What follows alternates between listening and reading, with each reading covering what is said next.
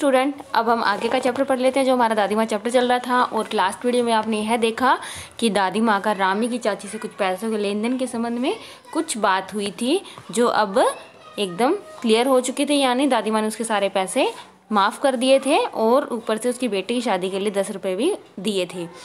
अब आगे हम और पढ़ लेते हैं। स्नेह और ममता की मूर्ति दादी माँ की एक एक बात आज कैसी कैसी मालूम होती है, यानी अभी तक लेखक अपनी दादी माँ के विषय में सोचे जा रहे हैं। जब से उनको पत्र मिला है अपनी दादी माँ के नाम से अपने भैया का कि उनकी दादी माँ अब नहीं रही तो वो अपनी दादी माँ की पुरानी यादें ताज़ा कर रहे हैं। परिस्थितियों का वात्य चक्र, जीवन को सूखे पत्ते सा कैसा नचाता है? यानी परिस्थितियाँ, यानी आपकी लाइफ की सिचुएशन उनकी लाइफ में काफ़ी ज़्यादा दुख थे. वात्य चक्र यानी तूफ़ान, यानी उनके जीवन का जो तूफानी चक्र था. तो जिस तरह तूफ़ान में सूखा पत्ता कहीं टिक नहीं पाता, एक जगह रह नहीं पाता, हिलता डुलता रहता है, यानी उसको एकदम ज़्यादा उसकी स्थिति एक जगह वाली नहीं होती. काफ़ी दुख झेलने पड़ते हैं उसी तरह. दादी माँ की भी हालत ऐसी थी. ये दादी माँ खूब जानती थी. दादा की मृत्यु के बाद से वे बड़ी उदास रहती, यानी दादा के, उनके जब पति की मृत्यु हुई तो वो काफ़ी उदास रहने लगी थी। वे सदा आगे उन्हें बेचकर अपने पीछे जाने की झूठी बातें कहा करते थे।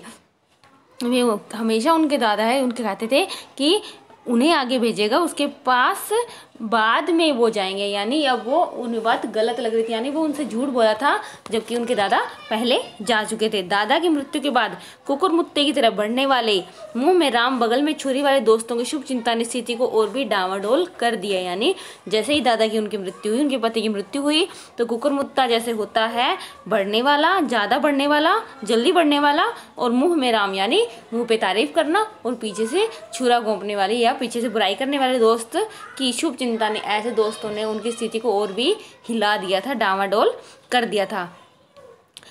दादा के श्राद्ध में दादी माँ के मना करने पर भी पिताजी ने जो अतुल्य संपत्ति व्यय की थी वह घर की तो थी ही नहीं। अब इसमें दा, इसमें बता रहे हैं लेखक कि दादा के श्राद्ध में जो पैसे खर्चे लगे थे उन्होंने पर जो दादी ने मना किया फिर भी जो लेखक के पिताजी थे उन्होंने काफ़ी पैसा उस पर खर्च कर दिया था क्योंकि वह घर का नहीं था।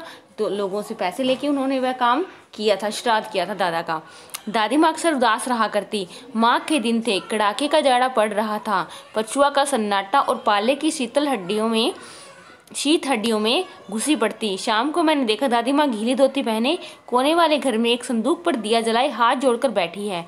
उनके स्नेह कातर आँखों में मैंने आँसू कभी नहीं देखे थे। मैं बहुत देर तक मन मारे उनके पास बैठा रहा, उन्होंने आँखें खोली।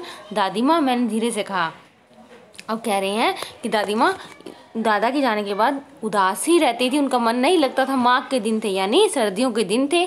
कड़ाके का जाड़ा पड़ रहा था, काफ़ी सर्दी हो रही थी। पछुआ का सन्नाटा, यानी बर्फीली हवाएँ और पाले की शीतल शीत हड्डियों, यानी जो पाले की ठंडी हवा की जो शीतलता होती है, वो हड्डियों में घुस रही थी।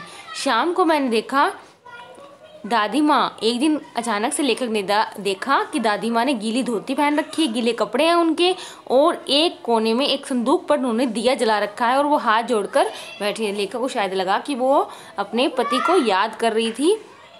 उनकी स्नेह कातर यानी उनका प्यार प्यारी आँखों में मैंने कभी आँसू नहीं देखे थे, लेकिन आज वो रो रही थी। मैं बहुत देर तक मन मारे उनके पास बैठा रहा, वो कई लेखक उनको देखता रहा और चुपचाप बैठा रहा। लेकिन जब कई देर बाद जब दादी ने आँखें खोली तो लेखक ने धीरे